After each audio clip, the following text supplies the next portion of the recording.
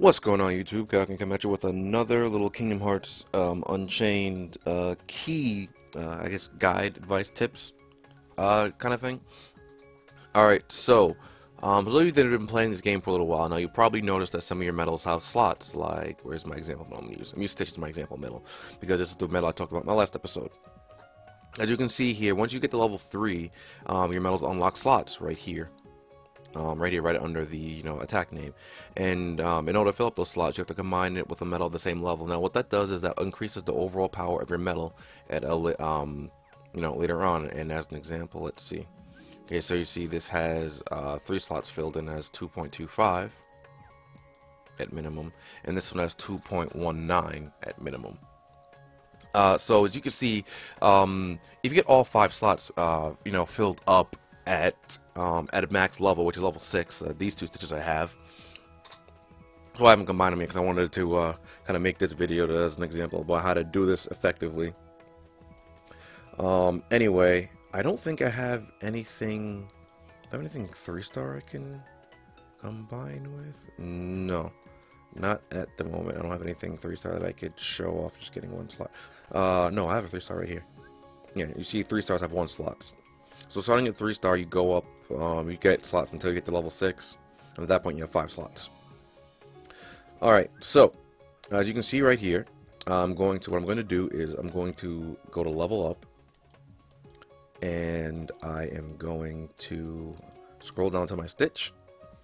And look, just like that. As you can see, I'll get one slot filled in. And If I do it like this, I get two slots filled in, right? Alright, so, uh, you know, that's all well and good. So I'm going to combine this one right here. And now this one has a little bit higher, it has, you know, higher strength, defense, and um, damage. Well, I think that's just because it leveled up, which is probably why it has higher strength and defense. Okay. So now, this stitch right here has um, has one slot filled in, right? So something you can do that actually makes this a lot more effective than leveling up each medal one by one and combining them is making use of the slots that you have filled in.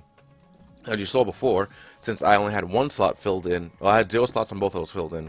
Now that one medal has, has a one slot filled in, right? So if we go down here to our other Stitch medal, like that, boom, you see both slots will trigger. Now that happens because this medal is essentially counted as two medals now because it, it, it's one medal on its own and it's been infused with another medal of the same kind and same level. So, um, you can effectively uh, raise your medal's power like this um, just by, you know, doing it this way. And doing it this way, you only need seven medals total, I believe. Is it six or seven? It's seven medals total. Yeah.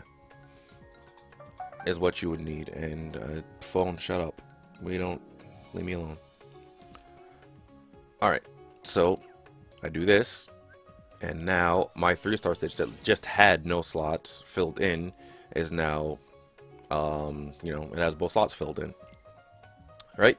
Cool.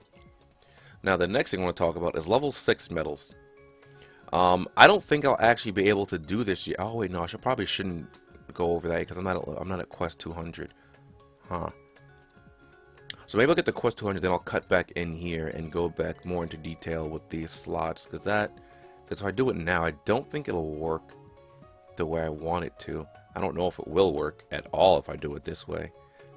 Um, yeah, so I probably shouldn't do that yet. Alright, anyway, I will be back here momentarily once I get the quest 200. Alright guys, so I'm back a few hours later because I went, after I realized I wasn't at, uh, I wasn't at a high enough level in order to do this, I went to, uh, took a nap, uh, streamed this for a little while, and yeah, anyway, so now you can see I have guilt active, um, which is why you're going to need seven medals for this, or seven of one kind of medal in order to do this. Um, spoke earlier about, you know, how to do this effectively and stuff like that. So here you can see I have guilt.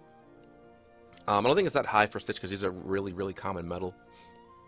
But in order to get this, you're going to need uh, six of seven of one kind of medal. You need the one, uh, you know, you need the main one, and then you're going to need the six other ones to go onto it because you're going to need to fill up the five slots and then the six slot which activates the guilt.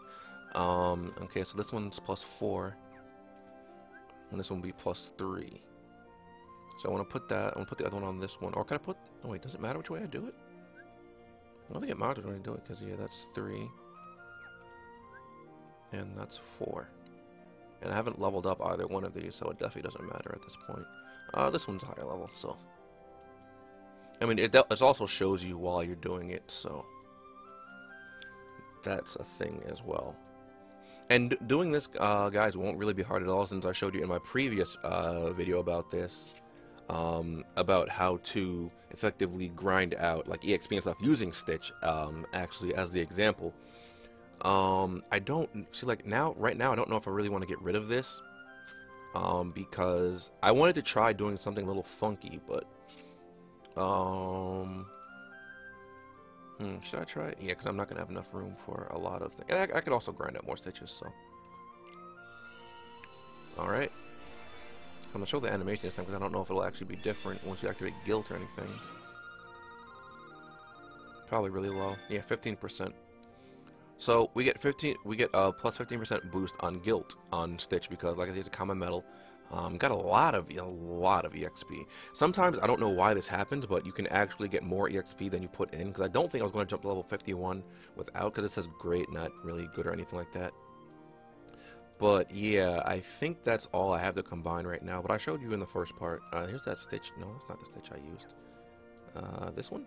Yeah, because like I said, I'm working on a few different stitches so that um, once raid bosses get a little bit harder, I'll be able to pillage them with stuff like that and I might work on some other lower class medals to get them, um, you know, gilted as well, like Wakka.